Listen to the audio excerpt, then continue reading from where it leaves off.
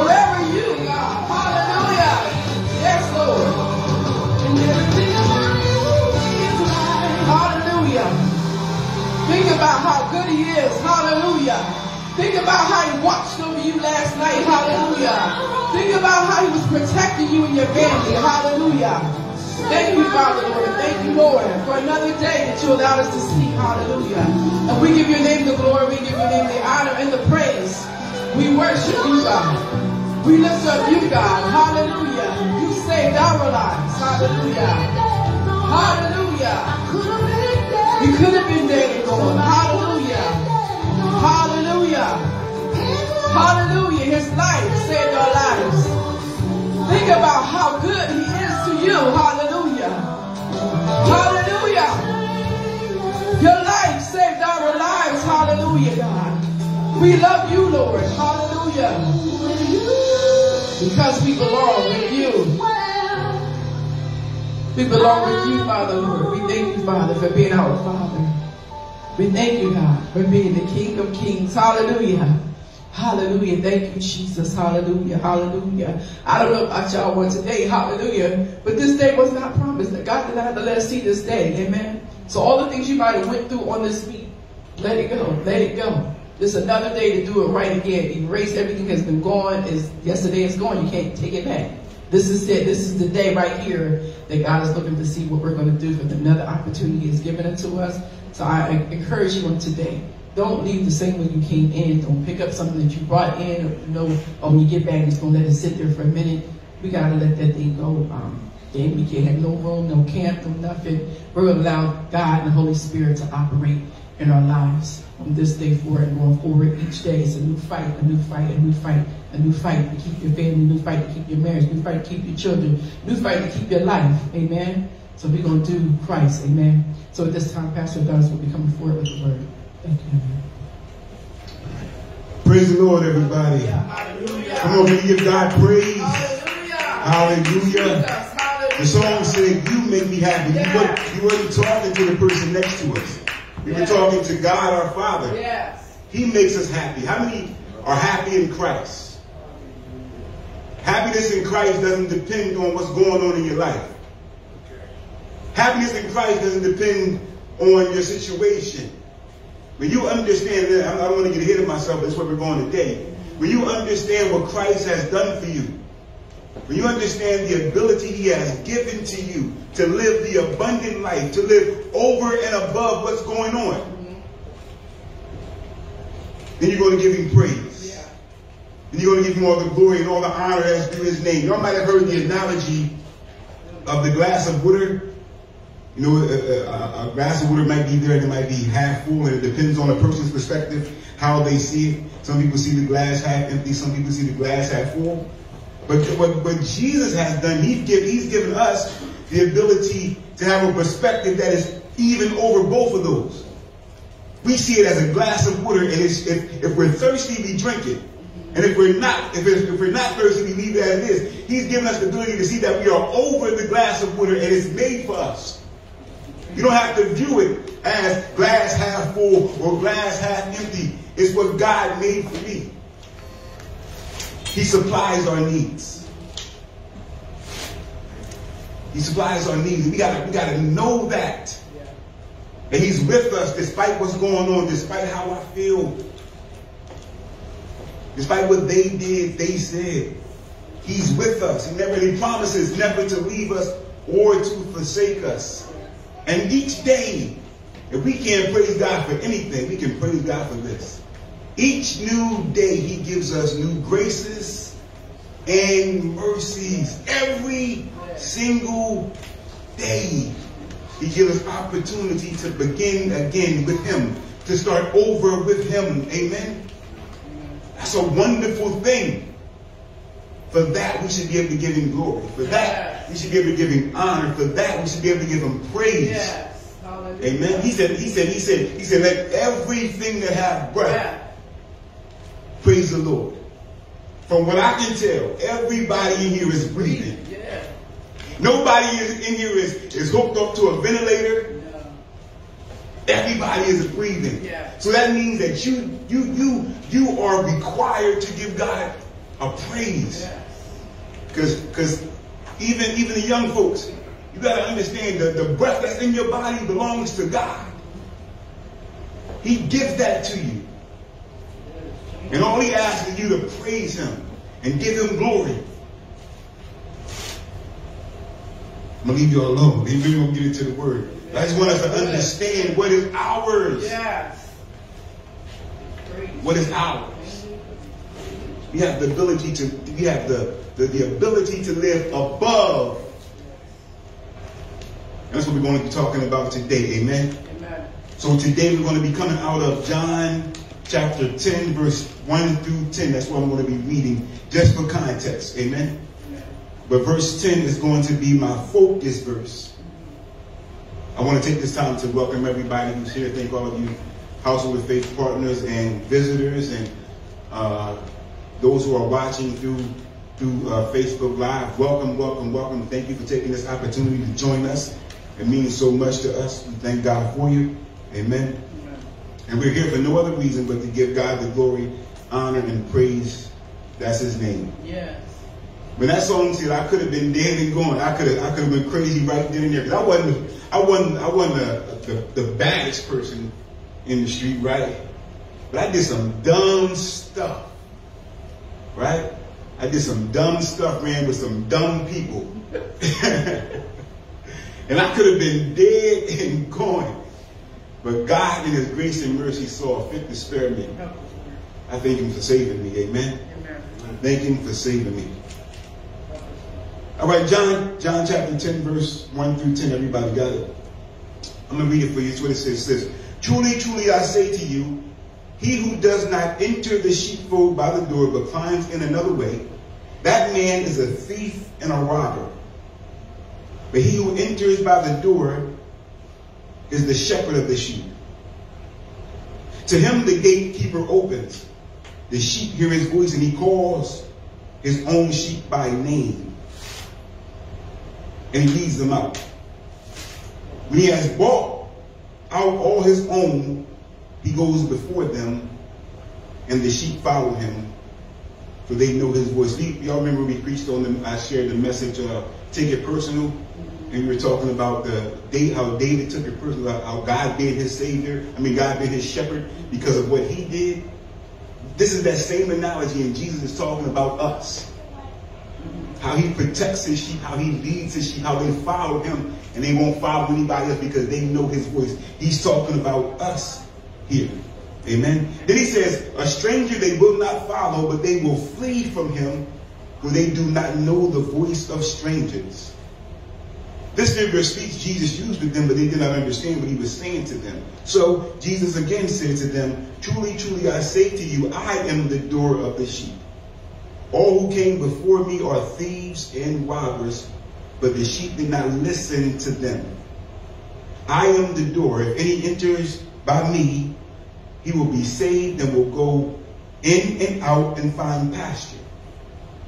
Jesus says in verse 10, my focus verse, the thief comes only to steal, kill, and destroy. I came that they may have life and have it abundantly. Verse 10, one more time. The thief comes to steal, kill, and destroy. I came that they may have life and have it abundantly. Just for context. As I said, Jesus is talking about us. He's talking about he, him being the door that the sheep enter in. That's, that's him talking about salvation, how we come to God through him. Right? So, so we come to God through him. When he says, all who came before me are, were thieves and robbers, he was talking about the religious people of that day. The Pharisees and Sadducees who were trying to heap laws and, and, and, and things on people to keep them from, from entering into the kingdom of God. Jesus called them thieves and robbers.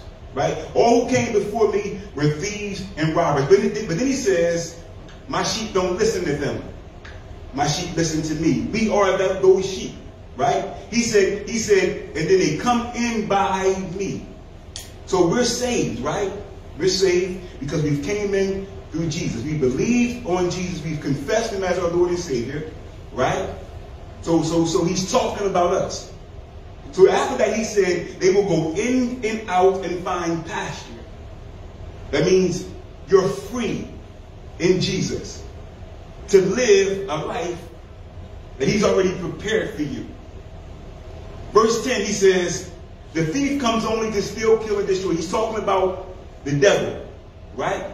He comes to steal what God has already given you. He comes to, to, to kill. He, he wants to kill you. He wants to stop you from living the life that God has given you. He wants to stop you from fulfilling the purpose for which God has put you on the earth. And then Jesus said he ultimately wants to destroy you. He wants to destroy everything that God wants to do through you. But then he says this, but I came that that they, that they is, is everybody who's here who has believed on Jesus. He says, but I came that they may have life and have it more abundantly. Jesus is talking about us. These are his words. Y'all heard it. It's not my words. I'm not reading anything that's not in the Bible. John 10 10, Jesus says, I came that they may have life and have it abundantly. Jesus is God in the flesh, right? Jesus is God in the flesh. God cannot lie, right? Numbers, you don't have to turn there. Numbers chapter 23 and verse 19, right? Hebrews chapter 6, verse 18. You guys can go there and check it after me. Both of these verses tell us that it's impossible for God to lie. So, Jesus, being God in the flesh, can't lie. Right? The only thing, we know we say, we say God can do anything. Right? The only thing, two things that God can do. He can't fail and he can't lie. Right? God can't fail and he can't lie. So I, I just want to want to challenge our, our, our paradigm, our, our way of thinking. Right? I want to challenge the way that we think. If Jesus said that he came so that we could experience abundant life.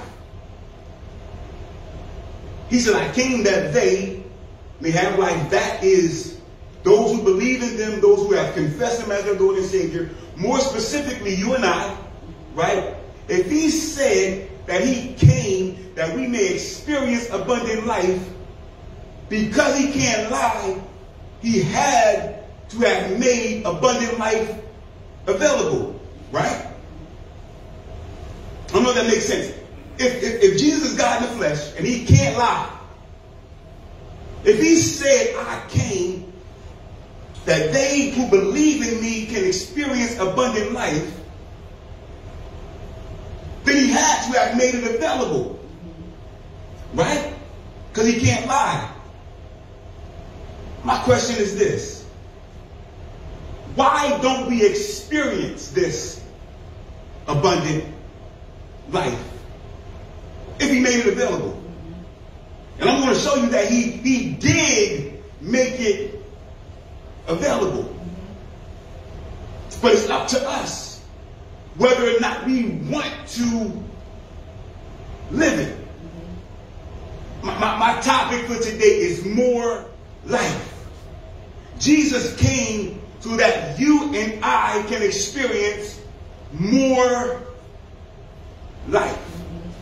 Not just regular existing from day to day, doing the same thing, down and out, living according to what happens or how I feel. He came that we may live life above that. And it's available for me and available for you. Right? So what I wish to accomplish with this message, as I said, is to challenge our paradigm, to challenge our way of thinking. Right? I want to cause us to, to see what is right in front of our eyes, but we miss it because we're looking at the wrong things. I want to cause us to understand what we know, right? I want to cause us to understand what we know but don't participate in. See, there's a difference between understanding something and knowing something. Right? No, you, you can know something but not understand it. Knowing simply means to hold the facts. You can know my name is Adonis, but not understand me. Right? To understand me, you have you have, you have to have had uh, an interaction with me. You have to have had uh, a relationship with me. Tina understands me. Right? And, and, and, and is understanding me as we go on. I'm a complex individual. Amen. So she, she's going to have to keep understanding me. But she does more than know me.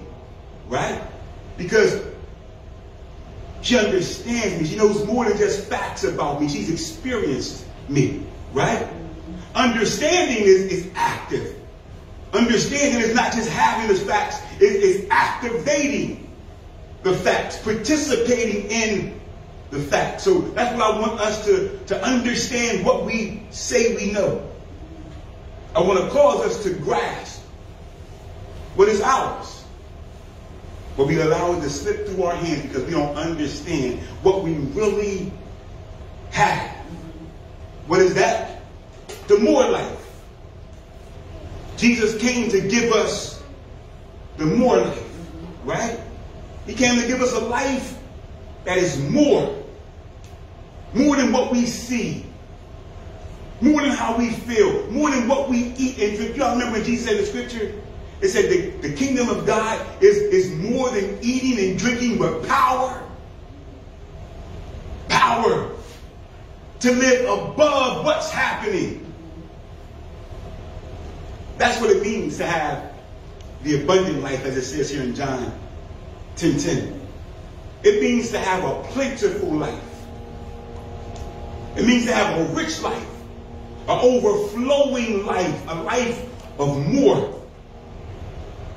The more life, I want you to understand this, the more life is a benefit of Jesus being our Lord and Savior.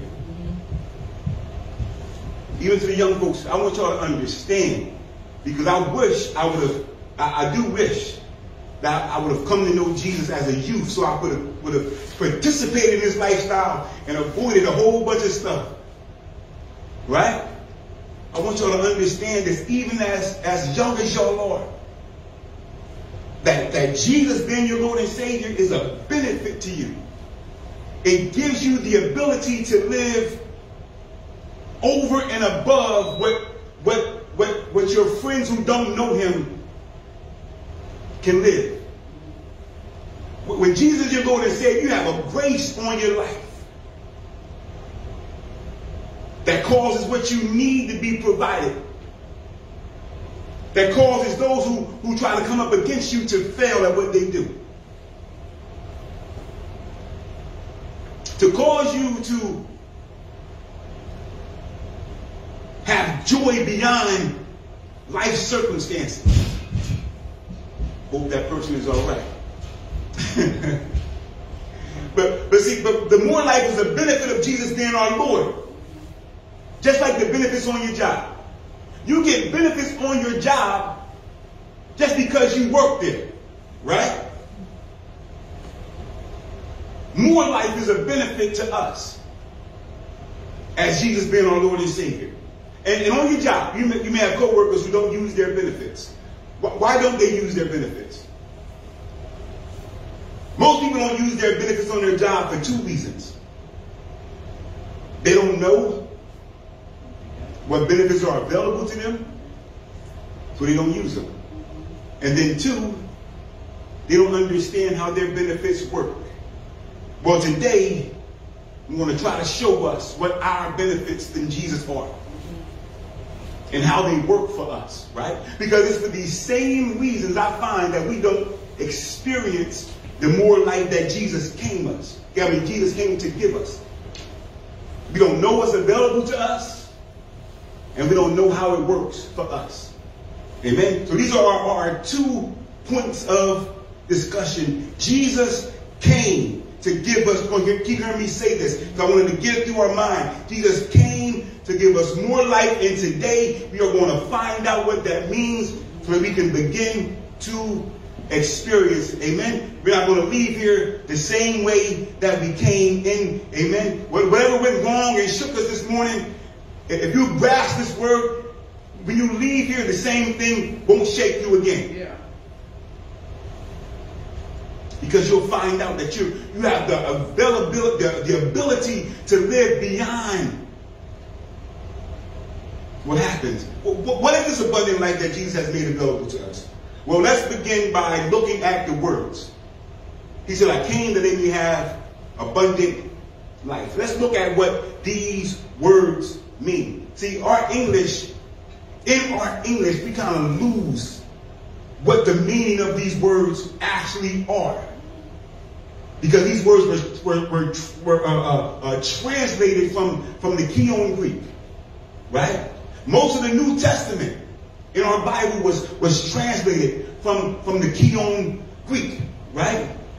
And the reason it was translated because the Koine Greek was the, was the common language of the people at that time.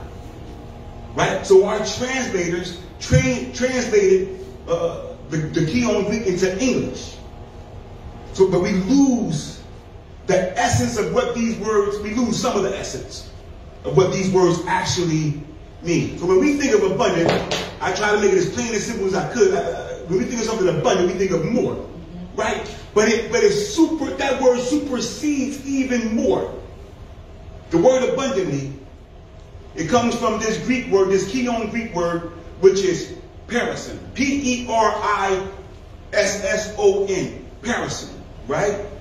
And what perisson refers to is, is eternal life. You know, Jesus came to give us eternal life, right? But he came to give us even more than that. He came to give us life in its fullness in every area. Amen. So, so, so you go look at that word up, perisson, P-E-R-I-S-S-O-N. It means eternal life in its fullness, right? Jesus, we know, secured eternal life for us when he died, rose, and ascended to the Father. And, and we believed on him. So eternal life became ours. Amen. But perisson also refers to having the things that, that are needful to make our life eminently blessed and happy. A reminder of a scripture that says that Jesus has given us everything that pertains to life and godliness. Watch this. In our knowledge of him. When you know what he's done for you, then you'll realize that you have everything that you need already for life and to live the life that God has given to you for life and godliness. Perisson. It, it means exceeding in measure. It means exceeding in rank, exceeding in need. It means over and above. It means more than what is necessary. That's crazy. More than what's necessary. It, it, it, it, means super added. It means what you what will, what will be added to your life will, will, will be over and above what you need. You remember Jesus said, he said, uh, uh, um, if you seek first the kingdom of God and his righteousness, all these things will be added to you. Right? Perisson means supremely something further, more, more, it, it, it, it says more and then much more. More than superior, extraordinary. The last definition says surpassing uncommon. That's what Jesus made available to us. Surpassing uncommon. So I went to the, to the next level of definitions. It said it means preeminence. Now we know Jesus, the Bible uses preeminence when it comes to Jesus. If we can understand, and you'll probably see it at the end of this, Jesus ultimately gave us his life on earth.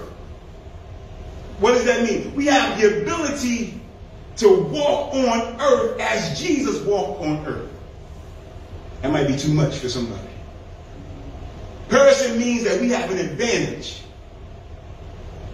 We have a life that is more remarkable, more excellent. That's what abundant means in the, in the Greek word it was translated from. Hope you can see what God has intended for us. Now, now life. The word life in the Koine Greek came from a word which is zoen, Z-O-O-E-N. And zoen comes from a word called zoe. You might be familiar with Zoe, right? Zoe refers to life that comes from above, the kind of life that comes from above. That's the kind of life that God intends for us to live. That's the kind of life that Jesus came to give us. A life that comes from above and a life that is lived above circumstances, and situations. Maybe this will help you understand this. There are other Greek words that refer to life, right? There, there, there, uh, there's a Greek word, bios, B-I-O-S. It's where we get words like biology, right? And we know that biology talks about physical life, right? Then, then, there's another Greek word that refers to life. This word is Pushe. Pushke. And it's P-S-U-C-H-E. Right? And this word means the lower level of life. The lower level of life. And this Pushe life is the life that separates people from living the life that God would have them to live. The Pushe life, it, it refers to the life that separates us from living the kind of life that God wants us to live. That life that God wants us to live is the Zoe life. The life that is above. Hope you're getting it. Jesus came to give us the highest form of life. The life that is over above bios, the life that is over and above Pushe. He came to give us the Zoe life. A life that is exceeding. A life that is supreme. A life that is surpassing. He came to give you a remarkable life. I'm trying to get you to see Jesus came to give us more life. Our life is supposed to be one that is enjoyed. Enjoyed. Our life is supposed to be one that is not lived dependent upon circumstances, dependent upon situations, dependent upon feelings. You heard me say it before. Feelings are for us to express, but not to tell us how to live.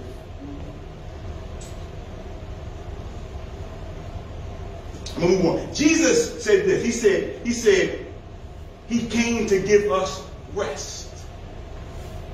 Matthew 11,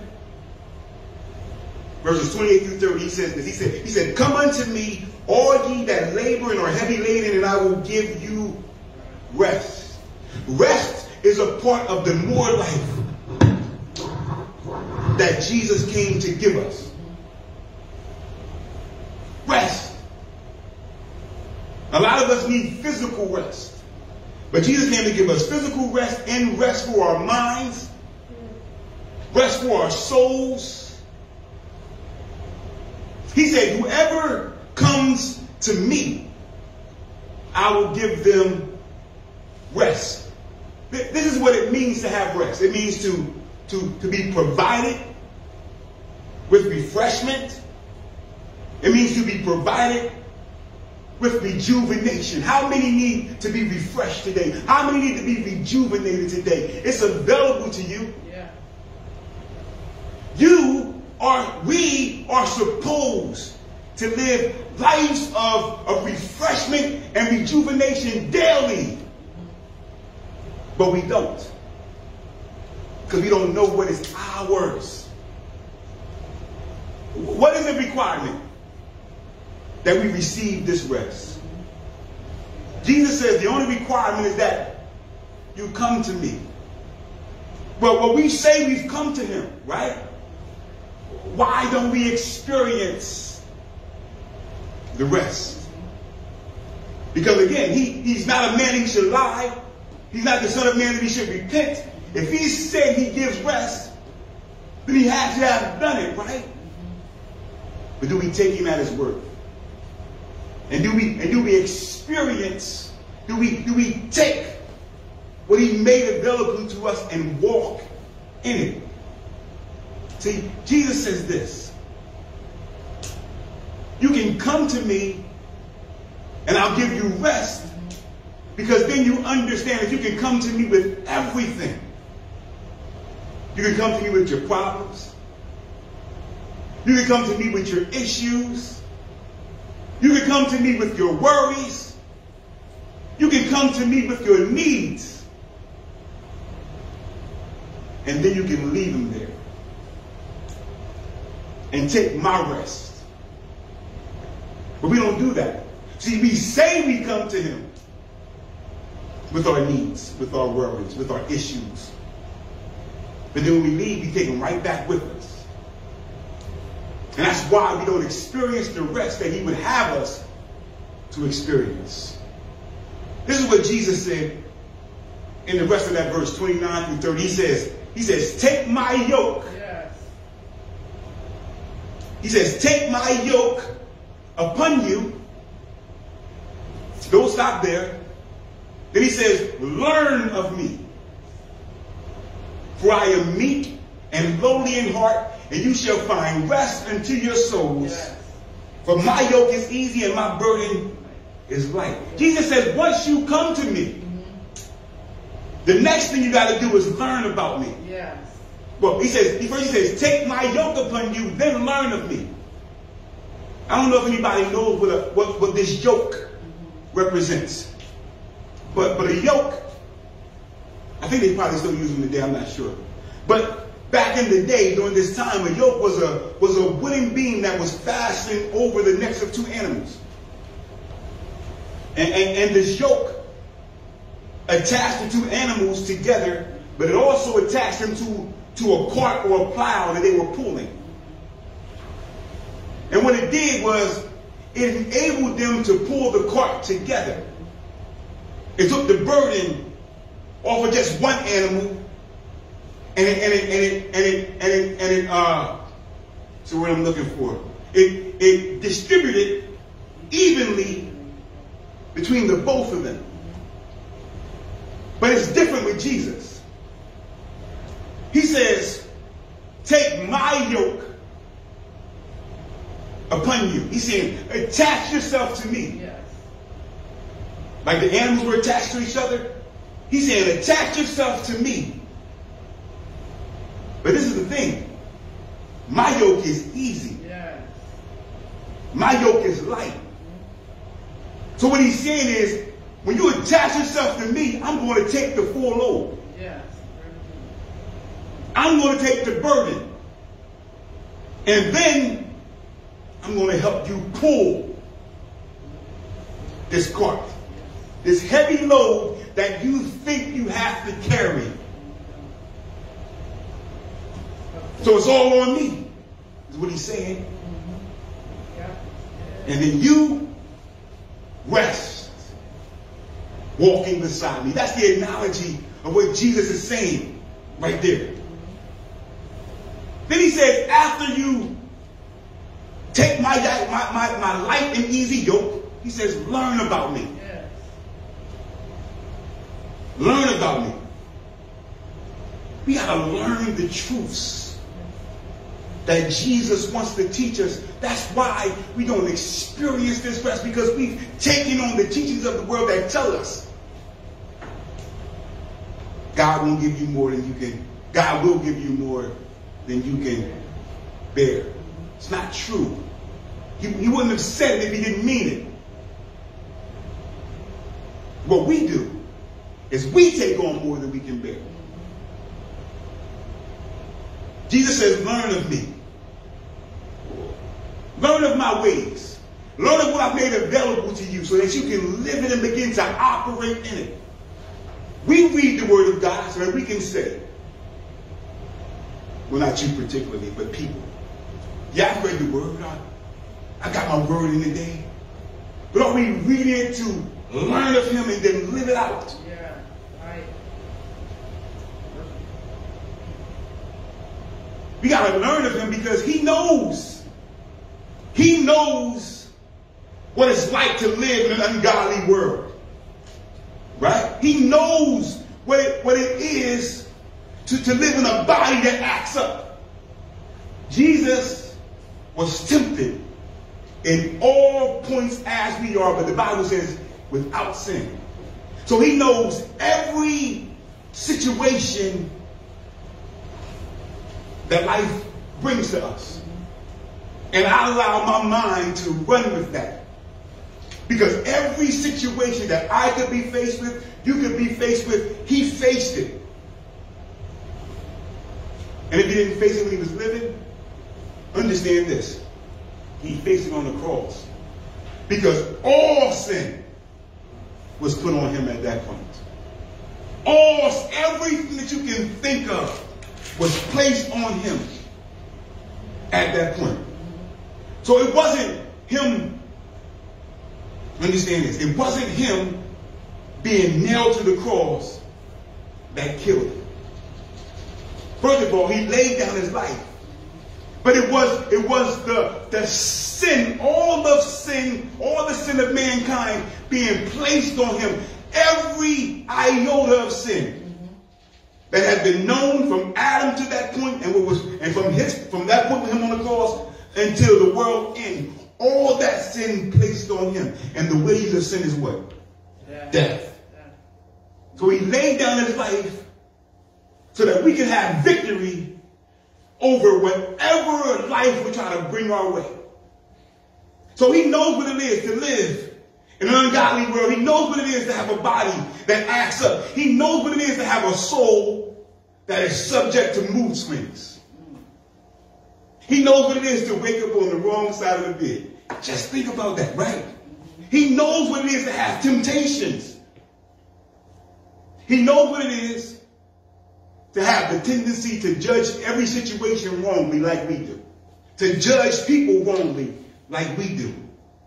He knows what it is. He knows what it is to, to feel a certain way and, to, and then to act according to that, knowing it's wrong. He knows that. But he didn't give in to it. So he says, learn of me. And when we learn, when we learn of Jesus, what we'll find is that he's given us the ability to rise above it. He's given us the ability to rise above it in and through him and our knowledge of him. Jesus says in John 8 32, he says, You shall know the truth, and the truth shall make you free. When you know what I've done for you, what I've made available to you, that will free you from the burdens of this life and allow you to live more. Can you see that? The, the, the world's teachings, right? What the world teaches us is meant to place us in bondage. To think us that, to, to tell us that we got to carry loads and we got a right to retaliate and we got a right to feel this kind of way. Places us in bondage. What do I mean? It stops us from living according to the way that God wants us to live. Tell them we don't have to forgive. I got a right to hold a, a grudge. But the grudge is only hurting you. Because that person went on with their life. And you're bound. The behaviors of the world are meant to keep us in bondage. Living according to how we feel. That's not what God has for us. But these are the, the truth that Jesus teaches us, allows us to experience rest. What was that again? Refreshment, rejuvenation. When I, when I apply what he teaches. And then ultimately the truth that Jesus wants us to understand is that he, he is the truth that sets us free from everything. You are not required to live a life that pleases anybody, that pleases anyone up else except him. That should free you. The only requirements that are on our life is to live a way that in a way that pleases God. That's why Jesus was free. He said, I do what I see my father do. I live my life into my father.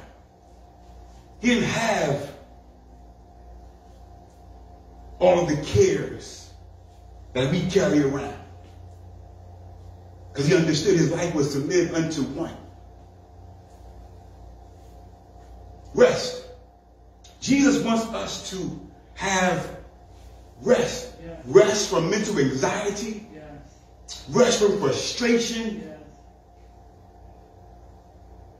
Rest is a part of the more life that Jesus did give us. Rest is yours. In the book of Acts, chapter 3, verse 19, the apostle Peter, he, he said that he said, he said, repent and turn to God so that your sins may be wiped out and that times of refreshing may come from the Lord. The, the, the context of that verse is this. There was a man, you go back and read that, that, that, that chapter, Acts 3. There was a man who, who was born crippled from birth, right? And this man was placed at the temple gate every day to ask for money. You probably know the story. But one day, Peter and John were going to the temple. When this man said to them, he said, you have any money? Silver and gold is what they had back then. Jesus said, silver and gold I do not have, but such as I have I give to you. He said, rise and walk in the name of Jesus Christ. He didn't have money. That should speak something to us. Because our society, our society tells us that we have to have a lot of money in order to be happy. But the secret they don't tell you is most of the people that, that have a lot of money are miserable. Because they trust in it, and then they're afraid of losing it. And then when they lose it, they don't know what to do. But our life is supposed to be, we live above what we have. But anyway, Jesus said, I mean, Peter said, I don't have silver and gold, but what I have, I'm going to give to you. And I have the power of God on my life. You, I'm giving it to you. Rise and walk in the name of Jesus. So this man was healed by the Holy Spirit because that power came from the Holy Spirit. Holy Spirit worked through Peter. But after that man was healed, the story says that he entered into the temple with, with Peter and with John. And the people who saw this man, they saw him every day lie at the gate, asking for money. Now they saw he was healed, and they were amazed. Peter knew that these people were amazed, and they wondered, how is this man healed? He had crippled legs, right? How was he healed? He tells them this man was healed through faith in the name of Jesus Christ. Then he told them, you got to repent. You got to have a change in your heart. You got to have a change in your mind. Right? He said, then you have to acknowledge your sin and confess that you had the wrong mindset concerning Jesus. That's what it means to repent. Right? Then he said this to them. He said, if you repent, you will be converted. And conversion means to be turned to God by belief in Jesus as Messiah. So this is what he says. He says to them, if you repent, you will be converted to God. Your sins will be forgiven. That means totally blotted out, right? Total removal of the record. Total removal of the charge every trace of, the account, of your account cleansed. And then he says this, and then you will be able to experience times of refreshing. Times of refreshing is supposed to be hours after we've made Jesus our Lord and Savior. What does refreshing mean according to the Bible? It means divine peace and joy. Times of refreshing out of the presence or from the presence of the Lord. Meaning that divine peace and joy comes from, comes from Jesus to us.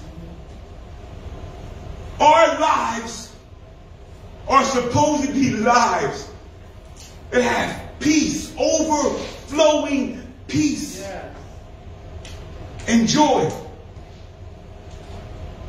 That, that, that opportunity is, is yours. That opportunity is mine to experience divine peace and joy from Jesus himself. What, what does that mean to us? That means we don't have to live a life of confusion. I can have peace. I don't have to live a life that's conflicted. I can have peace. I don't have to live in misery or despair. Joy is ours. If we would only understand that it's ours. Jesus came to give us more life. He did this by his spirit. We understand that Holy Spirit is living inside of us.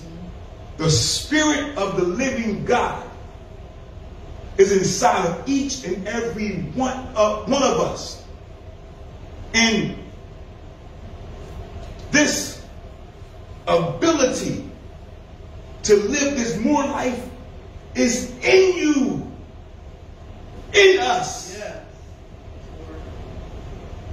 But we don't realize it we lean to the flesh, this outward, this psuche life, lower level of living that God doesn't want you to live by the standards of this world.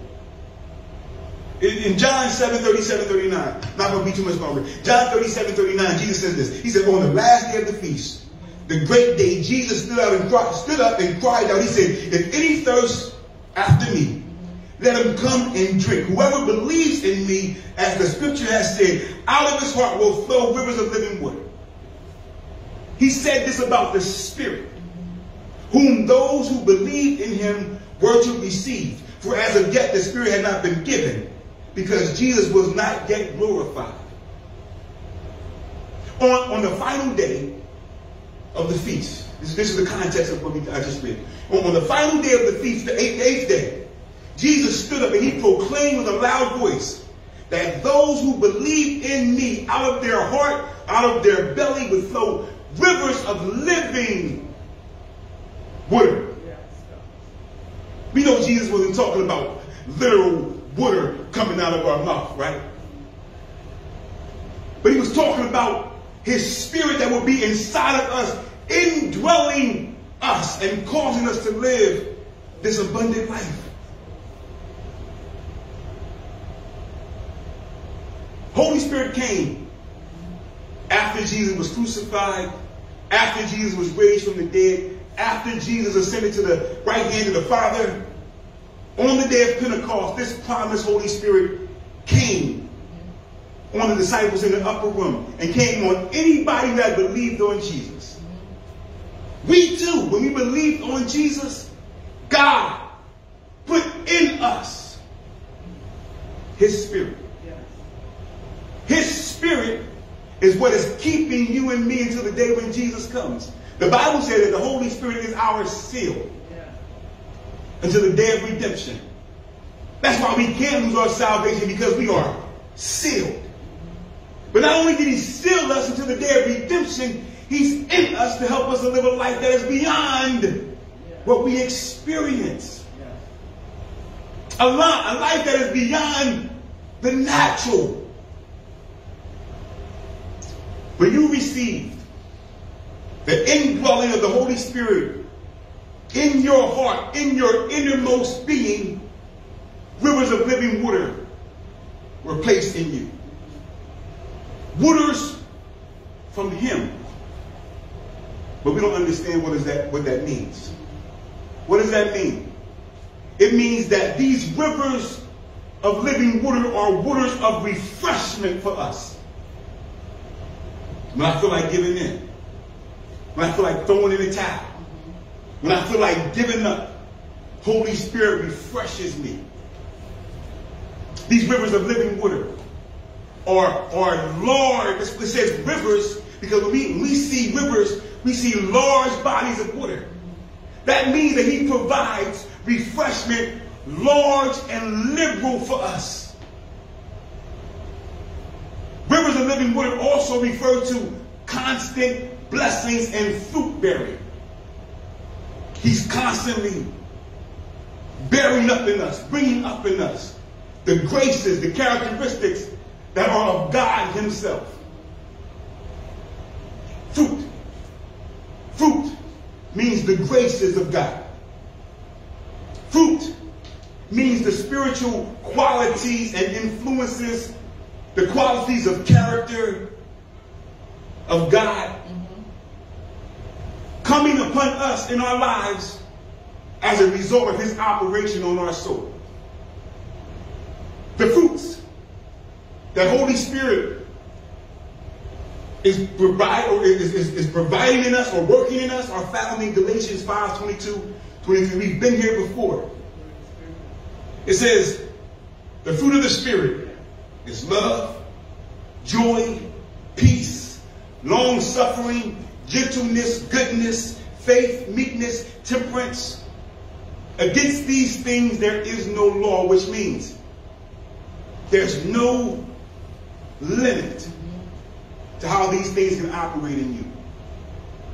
There's no law Nothing can come against them. These are the things that help you experience the abundant life that God has made available to you. See, if we think of love. I'm gonna move real quickly. We think of love as a as a as a as a as a butterfly feeling. When I love, it feels good. But no, genuine love is not fake. It's not phony. This is what God says love is. God says love is self-sacrifice for the benefit of those you love. God so loved the world that he gave his son for you, sacrificed because he loved you. So if we, if we say we're to operate in love, then I'm not living according to how I feel. Or at least I shouldn't be. When I love that way, I'm living above the feelings of worldly love. Joy. He said, joy is an inner thing. See, see, see, see, we happiness according to the world standard. And I got to make these uh, distinctions so that we can see what God has made available to us. Happiness according to the world standards depending upon what's going on. But joy is inside you. It's not dependent upon circumstances. It is dependent upon only this God's sovereign control of everything. Because I know that God is in control. I know that all things are working for my good. I'm talking about a mature mindset as a believer. He says peace. Peace is tranquility of mind. I don't have to be perplexed. You don't have to be perplexed. You don't have to be worried or frustrated. He gives us tranquility of mind first because we got a right relationship with God. So because my relationship is right with God, I don't have to worry. I don't have to fear. And then number two, I get tranquility because I have a right relationship with people. My relationship with people got to be right for my relationship to God to be right. One thing we get twisted is we say, I'm going to tell my daddy. Well, he's my daddy too. Mm-hmm. You got to make it right with me before we go talk to him.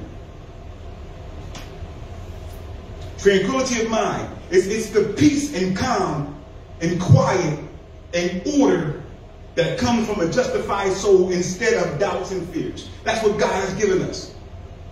He's given us long suffering. What is long suffering? I can remain quiet when I'm wrong. Why? Because I know God is working it out for me. We've seen that in Joseph.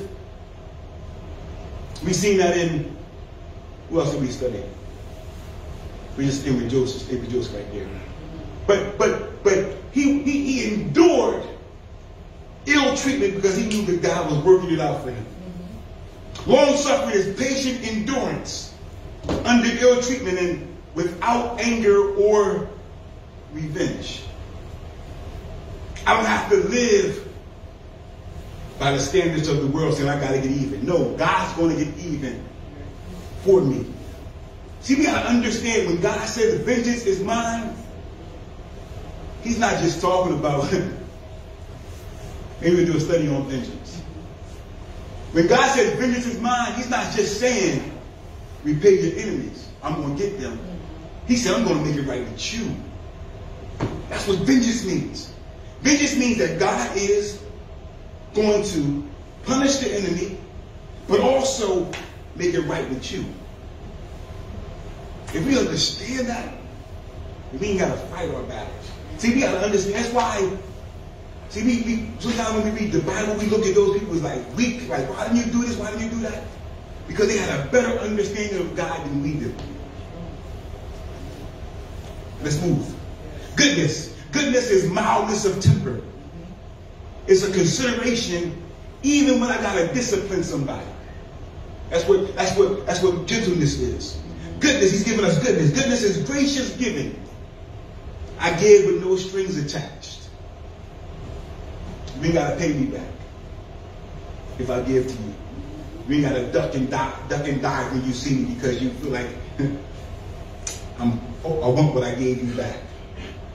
No, goodness is the ability for me to do good to you even when you don't deserve it. That's what God gave to us. It's the ability to live beyond the standards of the world. Can you see that? Faithfulness. Faith. It's faithfulness in performing a promise. Carefulness is in keeping what is committed to my trust. Ain't no betrayal in me. I don't betray my friends, my family, or those who are close to me. I'm faithful. He's not even, faithful means I, I don't even disappoint the confidence of my employer. Because I'm a child of God, I do right on my job.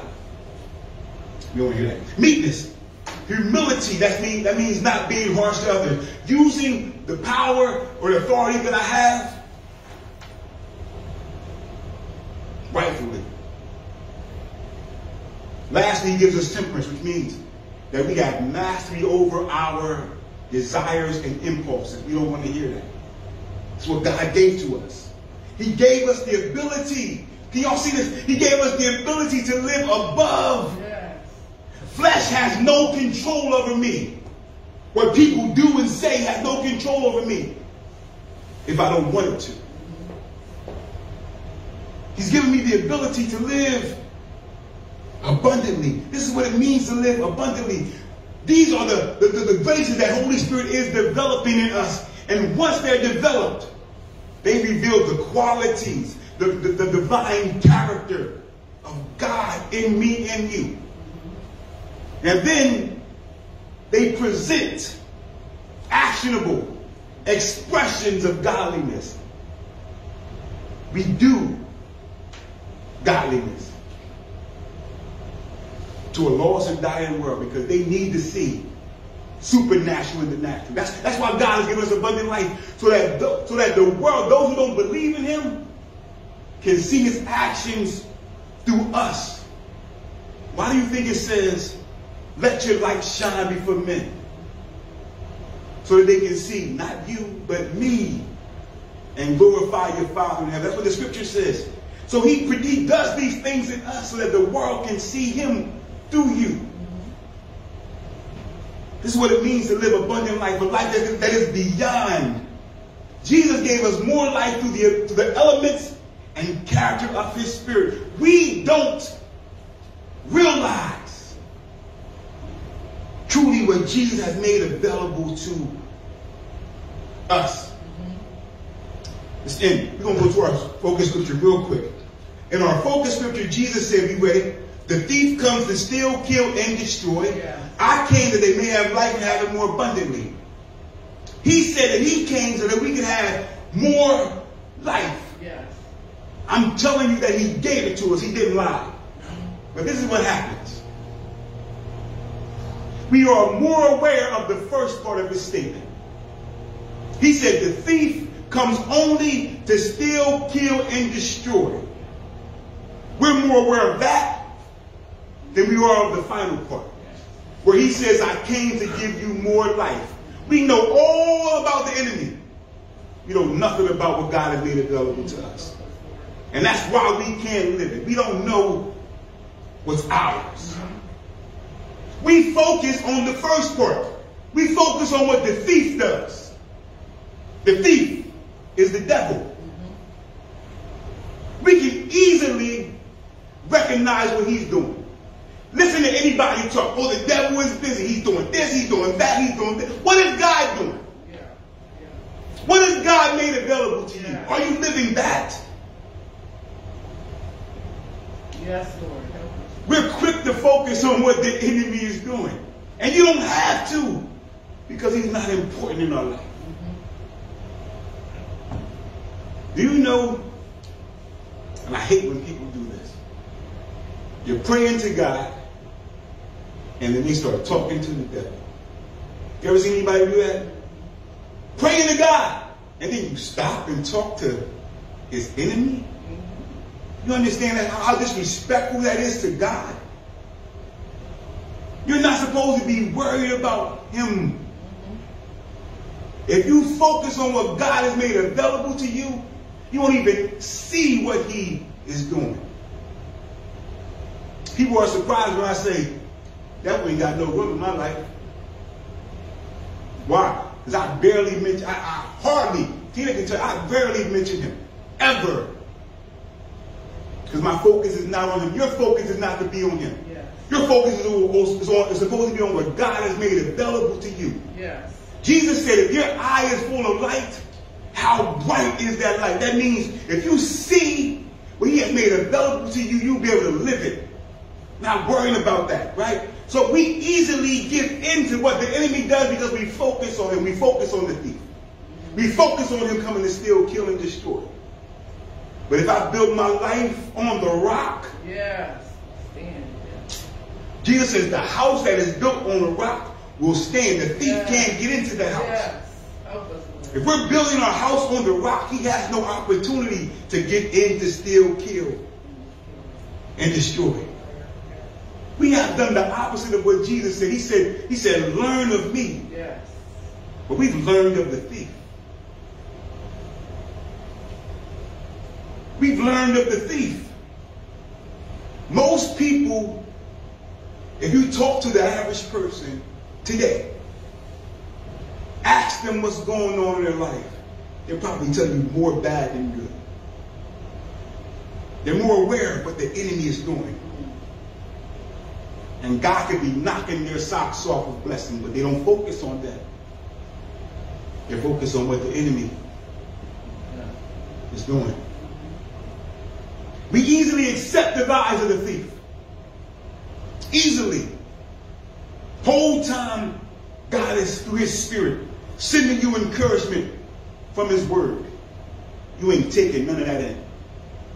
Enemy sending lies to your mind, you easily receive them. You're nothing, you can't do this, you can't do that, that, that, wherever. You're mm-hmm. Taking it in easy. Whole time, Holy Spirit trying to encourage you with what's yours. You pay no attention.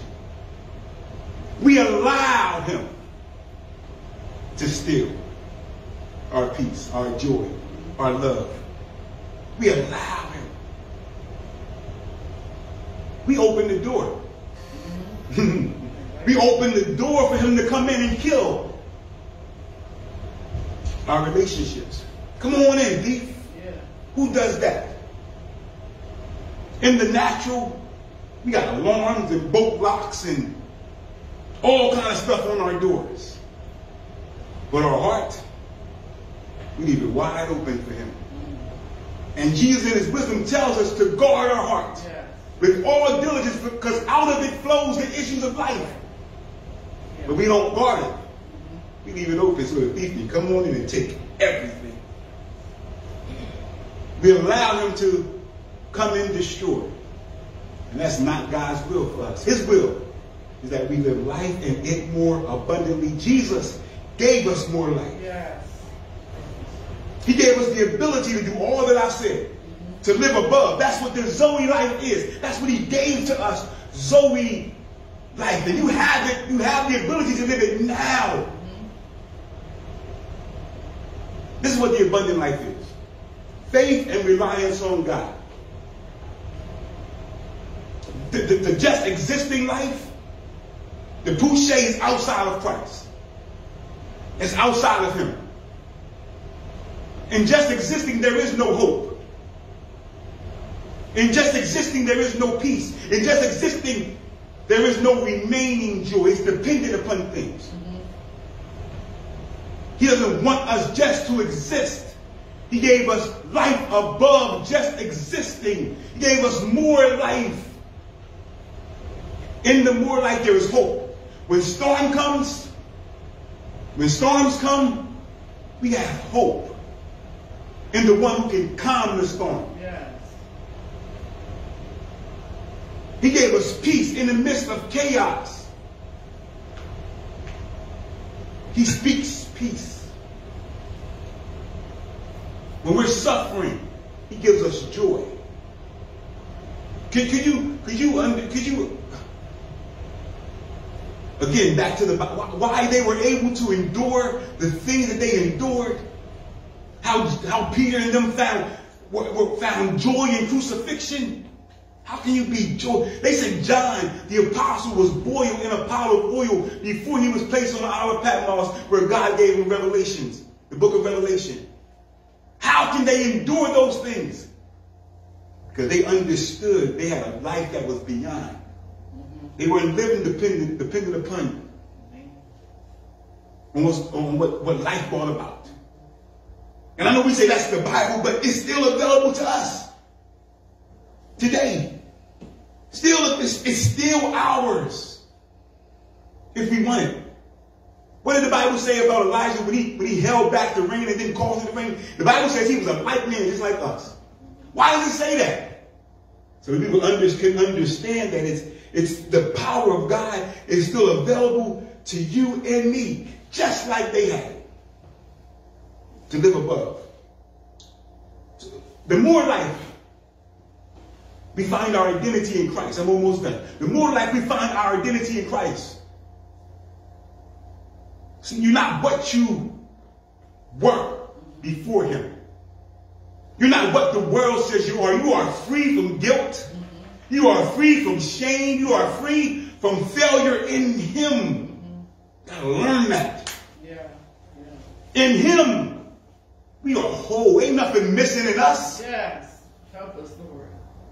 Ain't nothing missing in us. We are whole in him. We are complete in Him. Mm-hmm.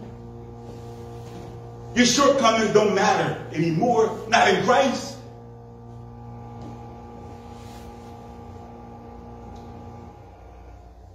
In, in the more life, you realize that God has a plan for you. You are valuable. God wants to do something through you.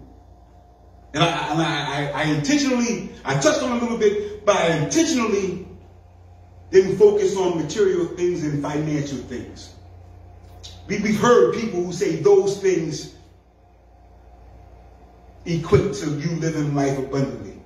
But we saw what Peter said. He said, silver and gold, I didn't have, I don't got. That shows us that the abundant life is not dependent upon what I got or what I, what I, what I have. It's, dependent, it's dependent upon who I have. Not dependent upon what I have it's dependent upon who I have. Why do I say that? Because God will provide for those who are his. He says, I, have never seen the righteous forsaken or their seed begging for bread. Yes.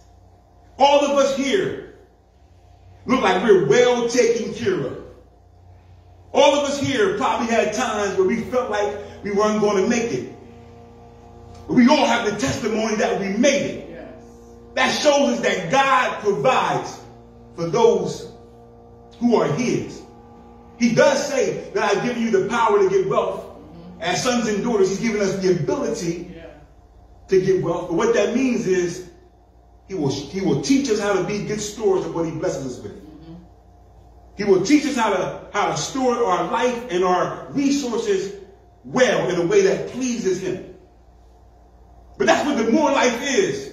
In God, I live beyond what I have in my bank account.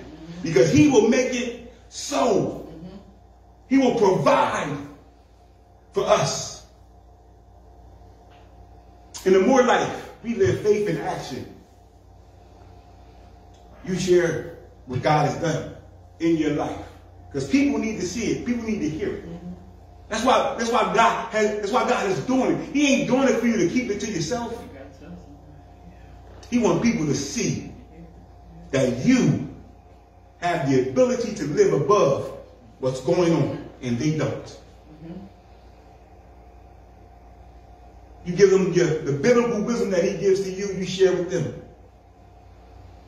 Because you have this more life, this gives you the ability to serve people. You realize that you and I are the hands and feet of Jesus in this earth. That's who we are. We shine the hope of Jesus to a lost and darkened world. Why? Because we got more life. We have more than just the mundane existing in Jesus. This is what we're going to end with this. This is what the more life that is yours is. It is it's an eternal life when we get to heaven, but eternal life inside of us.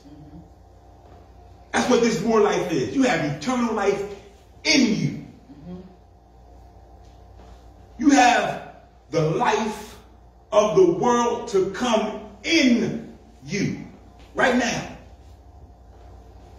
You have the Zoe life, the life that comes from above, the life that lives beyond.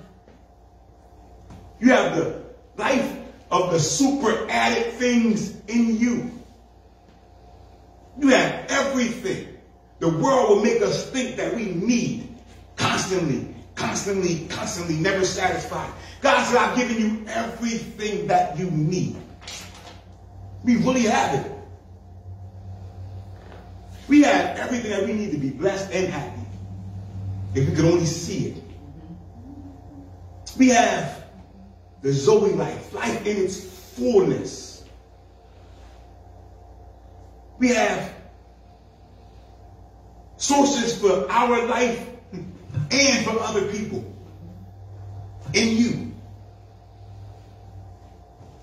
We got spiritual blessings, the abundance of, of grace and peace and love in us. We have the ability to experience rest, refreshment, and rejuvenation for our souls. Again, we got the rivers of living water, spiritual refreshment, large and liberal, constant blessings, fruit of the Spirit being, being, being, being, being provided or made in us. Flowing streams in us. We got refreshing, divine joy, divine peace in us coming from Jesus himself. We got righteousness, peace, and joy. Listen to this. Without any kind of mental agony or fear. That's ours. We got resurrection life, which is the motivating energy and directive agent of a new kind of life in us. More life. The elements and character of the Holy Spirit being developed in us and evidenced to everybody else in the unbelieving world. In you. We have an inward rest that provides freedom from works, from cares, from anxieties. I'm trying to get us to see that we have this, we have more life. Jesus made it available to us to live a life that is not dependent upon whatever. That's why he came. To give us the ability to live beyond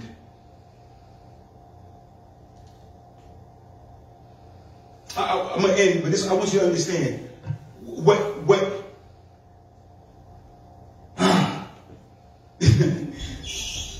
what other translations say about this abundant life, and this will give us a clearer picture.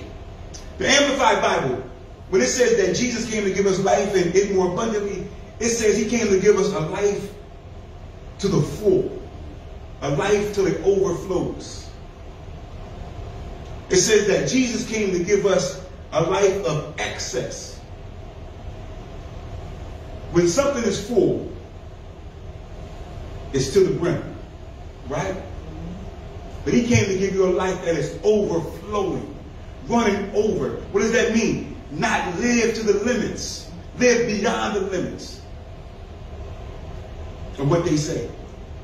The, the contemporary English Bible, and it says that Jesus said, I came that they may have life indeed. Indeed is an emphasis of yes. I came to live life. I came so that they can have life, yes, so they can have life to the fullest. Full is holding as much as possible. But fullness is holding more than possible. Can you see that? Y'all could see.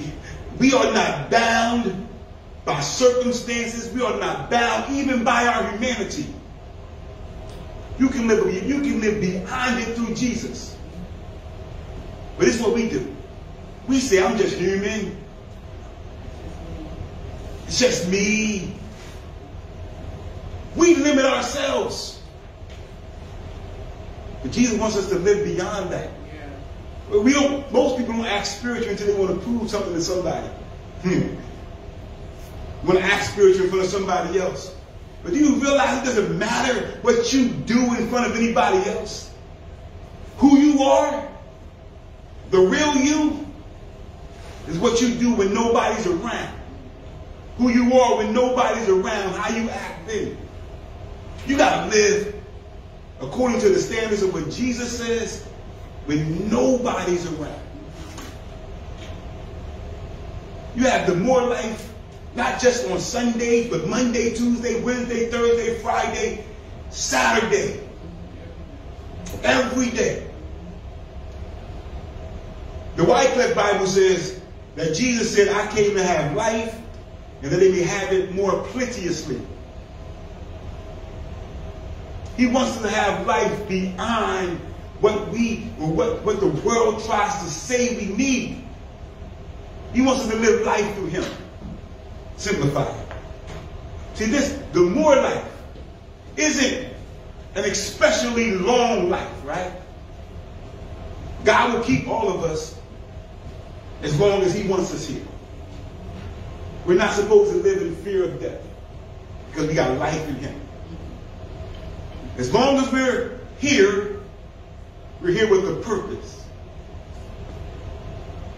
And as long as we're fulfilling that purpose, when that purpose is over, then God will take us away. We're not supposed to live life in fear. The abundant life doesn't mean that you got to live to your 120. It means that I live trusting God.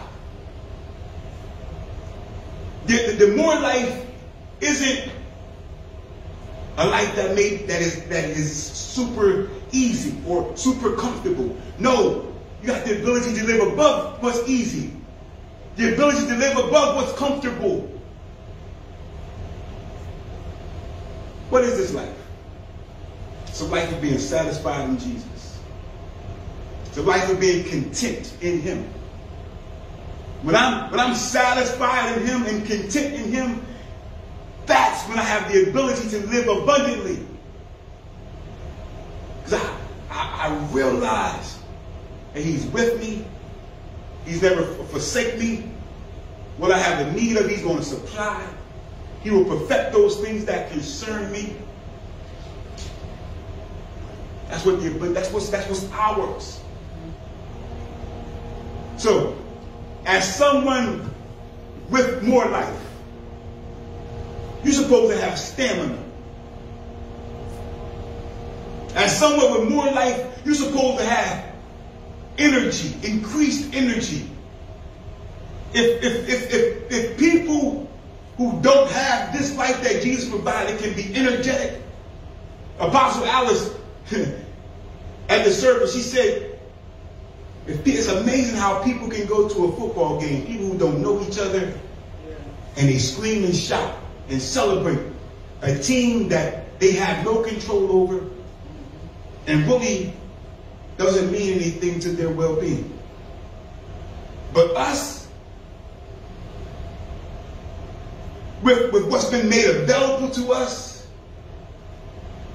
we sit and don't celebrate what God has made available to us. If anybody should be energetic, who should it be? Those who have the more life, with, with, with, with as someone who has more life, our living sphere should be large. Not, not necessarily materially, I said that. But experientially, our life should be full. We got the ability to do things. Whatever you, that's what it goes, uh, uh, when he said, go in and out and find pasture. In Jesus, you have the ability to live your dreams.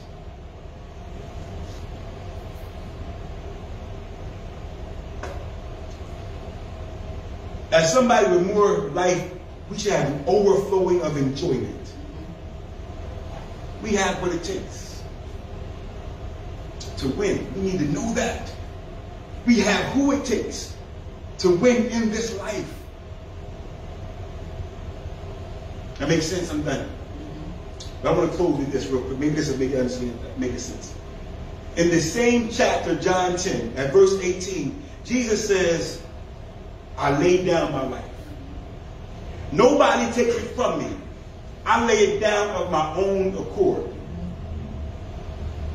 Many people think that Jesus just laid down his bios life, his physical life. But Jesus, this takes us back to what I said in the beginning, the, the bios, the psuche, and the zoe. Jesus laid down his bios life, his physical life, but he also laid down the psuche life, the life that separates from living according to God's purpose. And the life that he said he takes up was the Zoe life. He took, he laid down his physical life and he took that back up. Because he said that right hand of the Father. He's going to come back one day. But he laid down the Psuche life, the life that separates from the eternal purposes of God. He laid that down and he left there. And he took back up the Zoe life. And when he took back up the Zoe life, he made that life available to us. He made that life available to us. That's why we have the ability to live his life on the earth. Because what he picked up, he gave to us. Read Ephesians chapter 4. It tells us what Jesus did when he rose, when he sent to us. I'm aiming this. You have the permission, his permission, to live the abundant life. You have his permission to live beyond feelings, circumstances, situations. People say what you have, what you don't have, this, that. You have the ability to live above that. Jesus gave us more life. We have the ability to live beyond just existing, beyond what happens. It's ours. We got to learn about what is ours. Amen. Hope I said something that, that aggravated you.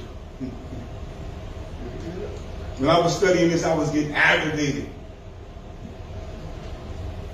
Because I realized what is mine.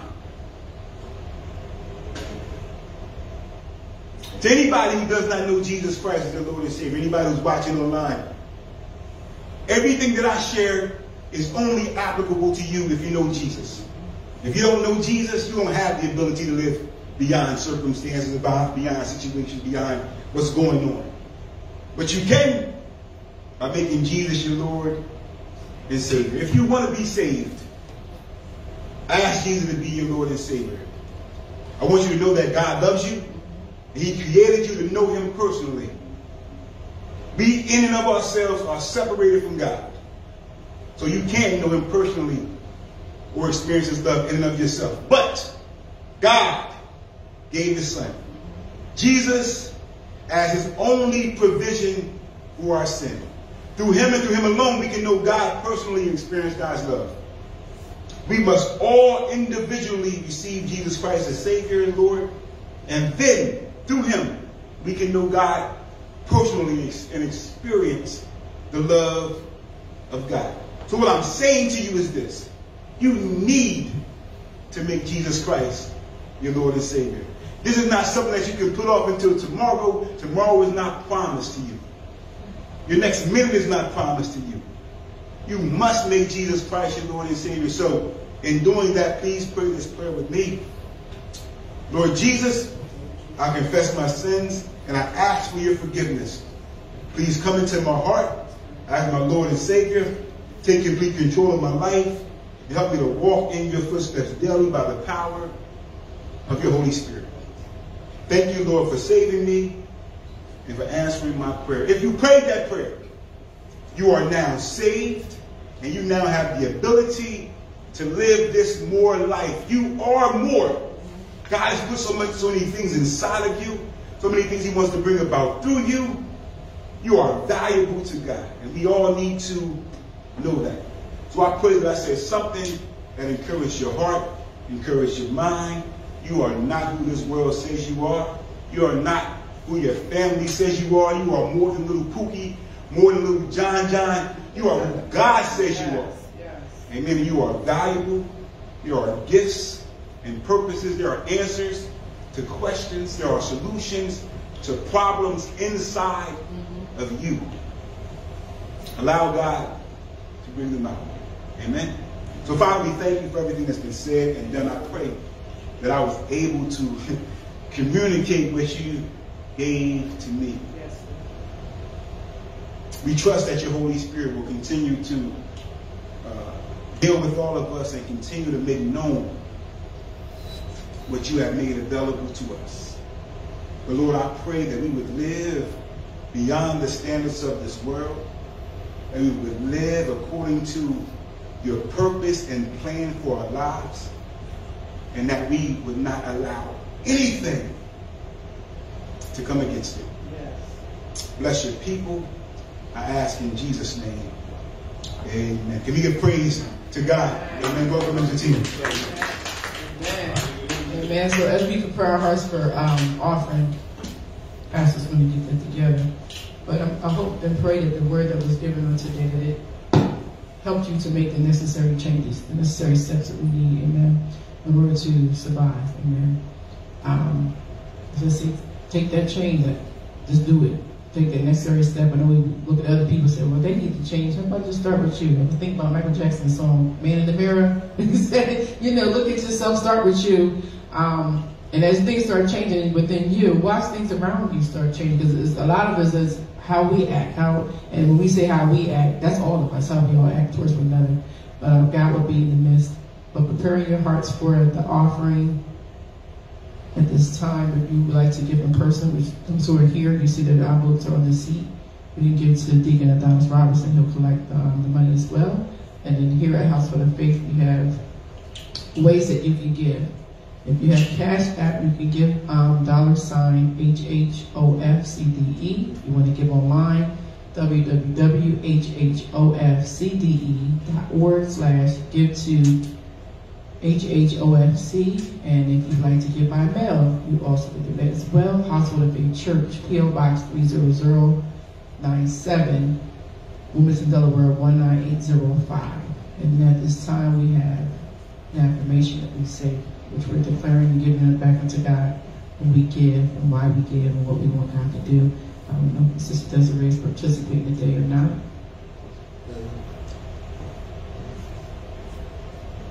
If not, we'll, we'll, we'll one. So here is our offering declaration. This is what we say and believe and trust and know that God is going to do that. So as we receive today's offering, so if you have your money in your hand, your phone in your hand, however you're going to give, we're going to declare back into God. As we receive today's offering, we are believing you.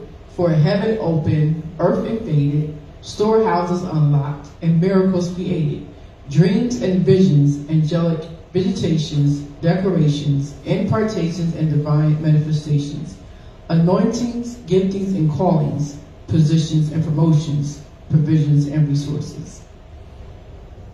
To go to the nations, souls, and more souls from every generation saved and set free, carrying kingdom revelation. Thank you, Father, that as I turn my value system to yours, you will shower favor, blessings, and increase upon me so I have more than enough to co-labor with heaven and see Jesus get his full reward.